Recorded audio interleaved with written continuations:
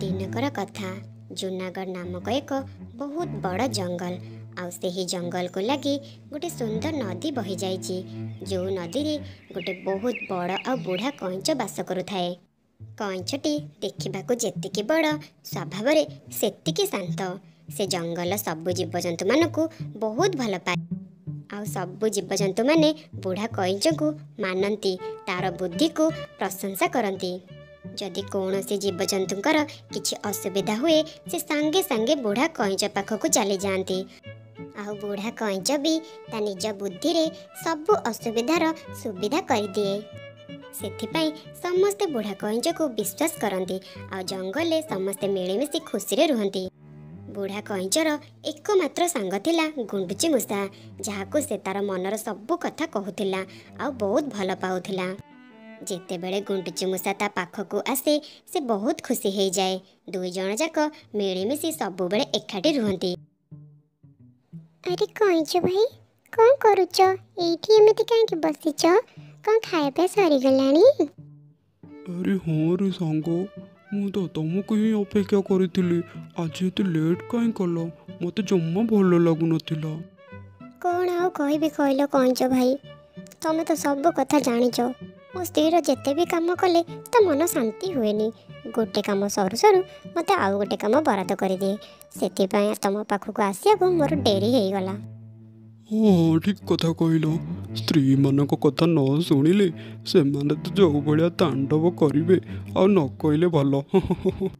ଆଉ ସେହି ଜଙ୍ଗଲରେ ଗୋଟେ ବିଲୁଆ ରହୁଥିଲା ଯିଏକି ବହୁତ ଭଲ ଥିଲା। ଦିନେ ସେ ଅସୁବିଧାରେ ପଡ଼ି ଗୋଟେ ଜାଗାରେ ଛିଡ଼ା ହୋଇକି ଭାବିଲା କ'ଣ କରିବି?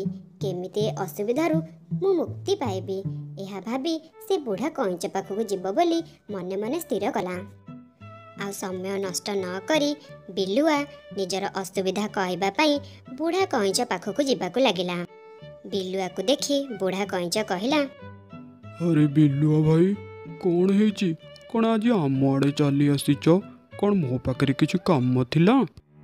ବୁଢ଼ା କଇଁଚ ମୁଁ ବହୁତ ବଡ଼ ଅସୁବିଧାରେ ପଡ଼ିଯାଇଛି।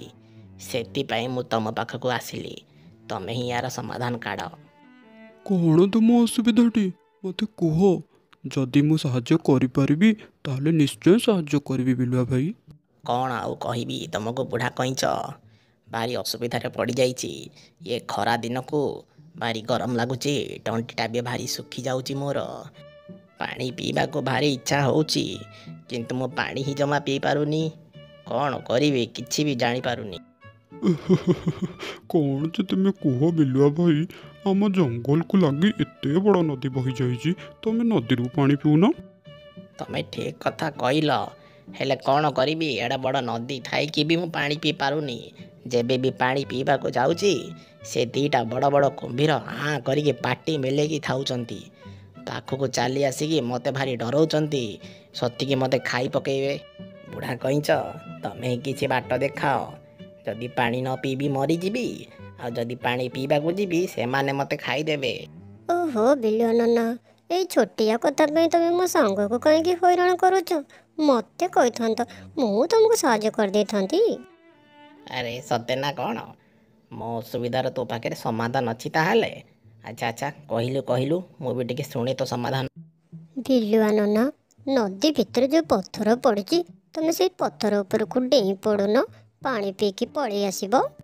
ହଁ ମୁଁ ଜାଣିଥିଲି ତୋ ବୁଦ୍ଧି ତୋ ଉଚ୍ଚତା ଯେତିକି ତୋ ବୁଦ୍ଧି ବି ସେତିକି ହଇରେ ମୂର୍ଖ ମୁଁ ଯଦି ପାଣି ଭିତରେ ପଶିକି ସେ ପଥର ଉପରେ ଛିଡ଼ା ହେଇକି ପିଇବି ସେ କୁମ୍ଭୀର ଦୁଇଟା ମୋତେ ଛାଡ଼ିବେଟି ସେ ଘୋଷାଡ଼ି ଓଟାରିକି ପାଣି ମଝିକୁ ମୋତେ ନେଇଯିବେ ଆଉ ସେଇଠି ଚୋବେଇ ଚୋବେଇ ଖାଇଯିବେ ବୁଝିଲୁ? ଓହୋ ତମେ ଦୁଇ ଜଣ ଏମିତି ଝଗଡ଼ା କରନି। ମୁଁ ଗୋଟେ ଉପାୟ ଭାବିଛି। ଉଁ, ବୁଝିଲ ବିଲୁଆ ଭାଇ? ତମେ ନଦୀ ପାଖରେ ଗୋଟେ ଗାତ ଖୋଳ ଆଉ ସେଇ ଗାତକୁ ଭିତରୁ ଭିତରୁ କଣା କରି ନଈ ସହିତ ମିଶେଇ ଦିଅ। ନଈରୁ ଯେଉଁ ପାଣି ଝରିକି ଆସି ସେଇ ଗାତ ଦିହରେ ରହିବ ଆଉ ତୁମେ ଆରାମସେ ପାଣି ପିଇପାରିବ ଆଉ ଖରା ଦିନରେ ବି ସବୁ ପାଣି ଆସି ସେଇଠୁ ଜମା ହେବ। ତମ ସହିତ ଜଙ୍ଗଲ ଆହୁରି ଜୀବଜନ୍ତୁମାନେ ବି ସେଇ ଗାତରୁ ପାଣି ପିଇ ଖୁସିରେ ରହିବେ ନା କ'ଣ କହୁଛ? ଆରେ ବା ବୁଢ଼ା କଇଁଚ ଭାରି ଭଲ ଉପାୟଟା ବତେଇଲ ମୋତେ। ଆଉ ନଦୀକି ଯାଇକି ମୋତେ ଡରିବାର ନାହିଁ।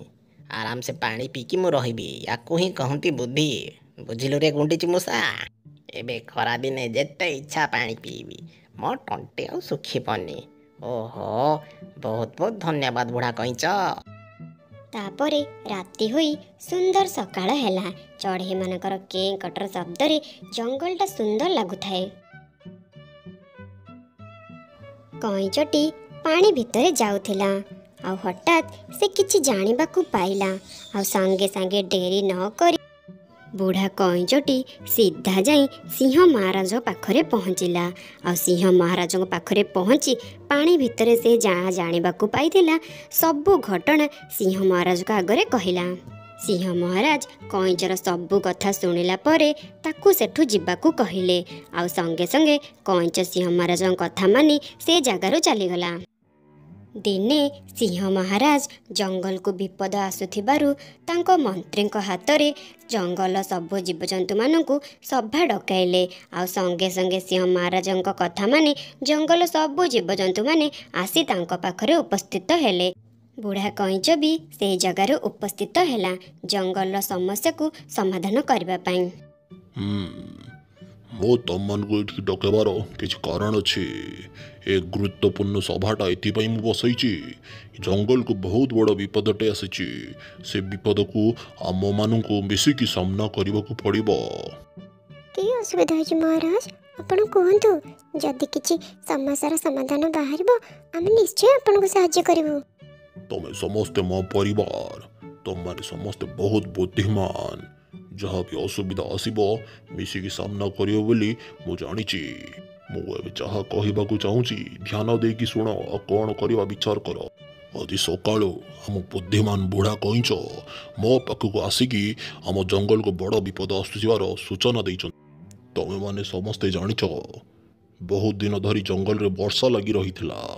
ସେଇଥିପାଇଁ ବନ୍ୟା ହେବାର ସମସ୍ୟା ଦେଖାଗଲାଣି। ବୁଢ଼ା କଇଁଚ ଏସବୁ ଜାଣି ମୋତେ ଆସିକି ସୂଚନା କଲେ ବନ୍ୟାକୁ ତ କେହି ରୋକିପାରିବେନି କ'ଣ କରିବା କୁହ? ବନ୍ୟାରୁ ଆମେ ସମସ୍ତେ କେମିତି ରକ୍ଷା ପାଇବା? ସେସବୁ କଥା ଚିନ୍ତା କର। ଆଉ ମୋତେ ତୁରନ୍ତ କୁହ। ମହାରାଜଙ୍କ କଥା ଶୁଣି ସବୁ ଜୀବଜନ୍ତୁମାନେ ଚିନ୍ତାରେ ପଡ଼ିଗଲେ। ବନ୍ୟା ଆସୁଥିବାର କଥା ଶୁଣି ସମସ୍ତେ ଭୟଭୀତ ହୋଇଗଲେ। ସେମାନେ ସମସ୍ତେ ମହାରାଜଙ୍କୁ ତାଙ୍କର ଉପାୟ ବତାଇଲେ। ହେଲେ ମହାରାଜଙ୍କୁ କାହାର ବି ଉପାୟ ଠିକ୍ ଲାଗିଲାନି। ସମସ୍ତେ ନିଜ ନିଜର ଉପାୟ ମହାରାଜକୁ ଜଣାଇଲେ। ହେଲେ ବୁଢ଼ା କଇଁଚ ସବୁ ଜୀବଜନ୍ତୁଙ୍କର କଥା ବହୁତ ଧ୍ୟାନର ସହ ଶୁଣୁଥିଲା। ସେ ପର୍ଯ୍ୟନ୍ତ ସେ ମହାରାଜକୁ କିଛି ବି କହିନଥିଲା। କ'ଣ ବୁଢ଼ା କଇଁଚ? ସବୁ ତ ଶୁଣୁଛ ସବୁ ଜାଣିଛ। ଜଙ୍ଗଲକୁ ଏତେ ବଡ଼ ବିପଦ ଆସୁଛି ତମେ କାହିଁ କିଛି କହୁନ? ଏ ଜଙ୍ଗଲରେ ତମକୁ ସମସ୍ତେ ମାନନ୍ତି। ତମ ବୁଦ୍ଧିର ପ୍ରଶଂସା ଆମେ କରୁ। କିଛି ଆମକୁ ବାଟ ଦେଖାଅ ବୁଦ୍ଧି ବତାଅ ବୁଢ଼ା କଇଁଚ ବହୁତ ସମୟ ଧରି ଚିନ୍ତା କଲା। ଆଉ ଚିନ୍ତା କରିସାରିଲା ପରେ ସେ ମହାରାଜକୁ କହିଲା ମହାରାଜ ଆପଣଙ୍କୁ ତ ପ୍ରଥମେ ବହୁତ ବହୁତ ଧନ୍ୟବାଦ। ଆପଣ ମୋର କଥା ମାନି ଏଠି ସଭା ଡକାଇଲେ ଆଉ ମୋର କଥା ଶୁଣିଲେ। ମହାରାଜ ବନ୍ୟା ଗୋଟେ ଏମିତି ଜିନିଷ ତାକୁ କେହି ବି ଅଟକେଇ ପାରିବେନି। ପାଣିକି କ'ଣ କିଏ କେବେ ବାନ୍ଧିକି ରଖିଲାଣି? ଚାଲ ଗୋଟେ କାମ କରିବା। ଆମେ ଏ ଜଙ୍ଗଲ ଛାଡ଼ି ଚାଲିଯିବା। ଯେତେବେଳେ ପାଣି କମିଯିବ ଆମେ ପୁଣି ଆମ ଜଙ୍ଗଲକୁ ଫେରି ଆସିବା। ନା କ'ଣ କହୁଛ ମହାରାଜ? ହଁ ଏଇଟା ହିଁ ଠିକ୍ କଥା ବୁଢ଼ା କଇଁଚ ତମେ ସମସ୍ତେ କ'ଣ କହୁଛ? ଏ କଥାରେ ଏକମତ ଅଛ ତମମାନେ ନାଇଁ ନାଇଁ ମହାରାଜ ଏଇଟା ଠିକ୍ କଥା ନୁହେଁ ଏମିତି ତ ନୁହେଁ ଯେ ସବୁବେଳେ ବୁଢ଼ା କଇଁଚ ଯାହା କହିବ ସେଇଟା ଠିକ୍ ହବ ବୋଲି ମୁଁ ଏ ଜଙ୍ଗଲ ଛାଡ଼ିକି କୁଆଡ଼େ ବି ଯାଇପାରିବିନି ମହାରାଜ ଆରେ ବୁଢ଼ା କଇଁଚର କଥା ଶୁଣିକି ତମକୁ ଆଶ୍ଚର୍ଯ୍ୟ ଲାଗୁଛି ତମ କଥା ଶୁଣିକି ମୋତେ ଆଶ୍ଚର୍ଯ୍ୟ ଲାଗୁଛି ଗୁଣ୍ଡୁଚି ମୂଷା ତମେ ତ ବୁଢ଼ା କଇଁଚର ଭଲ ବନ୍ଧୁ ଏମିତି କଥା କେମିତି କହିପାରୁଛ ମହାରାଜ ଯାହା ଇଚ୍ଛା ଯିଏ ଯୁଆଡ଼େ ଯାଆନ୍ତୁ ହେଲେ ମୁଁ ଏଇ ଜଙ୍ଗଲ ଛାଡ଼ି କୁଆଡ଼େ ଯିବିନି ତାହେଲେ ଠିକ୍ ଅଛି। ଫଇସଲା ହେଇଗଲା ତାହେଲେ। ଯିଏ ଯିଏ ନିଜ ଜୀବନ ବଞ୍ଚେଇବାକୁ ଚାହୁଁଛନ୍ତି ମୋ ସାଙ୍ଗରେ ପାହାଡ଼ ଉପରକୁ ଚାଲନ୍ତୁ। ଆଉ ଯିଏ ମୋ କଥାରେ ଏକମତ ନାହାନ୍ତି ସେମାନେ ଏଇଠି ରୁହନ୍ତୁ। ଠିକ୍ ତା ପରଦିନ ସକାଳୁ ସବୁ ଜୀବଜନ୍ତୁମାନେ ସିଂହ ମହାରାଜଙ୍କ କଥା ମାନି ମହାରାଜଙ୍କ ସାଙ୍ଗରେ ପାହାଡ଼ ଉପରକୁ ଯିବାକୁ ଲାଗିଲେ। ବନ୍ୟାରୁ ରକ୍ଷା ପାଇବା ପାଇଁ ନିଜ ନିଜର ଜୀବନ ବଞ୍ଚାଇବାକୁ ଚେଷ୍ଟା କଲେ। ଧୀରେ ଧୀରେ ପାଣି ବଢ଼ିବାକୁ ଲାଗିଲା। ପାଣି ସବୁ ଆସି ଜଙ୍ଗଲ ଭିତରେ ପଶିଲା। ଆଉ ପାଣିର ସ୍ରୋତ ଏତେ ବଢ଼ି ଯାଇଥିଲା ଯେ ଡାଳ ପତ୍ର ସବୁ ପାଣି ଦେହରେ ଭାସି ଯାଉଥିଲା। ଆଉ ସେହି ପାଣିରେ ଗୁଣ୍ଡୁଚି ମୂଷା ମଧ୍ୟ ଭାସି ଯାଉଥିଲା। ଗୁଣ୍ଡୁଚି ମୂଷା ନିଜ ଜୀବନ ବଞ୍ଚିବା ପାଇଁ ବହୁତ ବିକଳରେ ଡାକୁଥାଏ। ହେଲେ ଜଙ୍ଗଲରେ କେହି ନଥିବାରୁ ତା କଥା ଶୁଣିପାରୁ ନଥିଲେ।